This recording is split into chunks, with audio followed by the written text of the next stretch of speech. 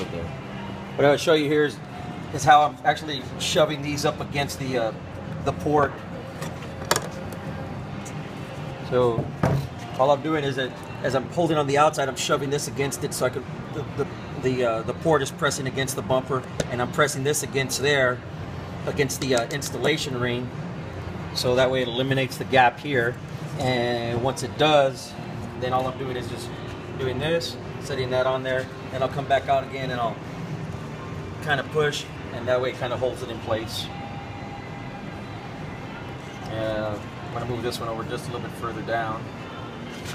Again, I'm just gonna shove it until it kind of jams up against there, and I'll let it dry in that place. And then uh, this one over here, and squeeze it in there, just like that. And then I'll shove it up against there. There you go. That's it.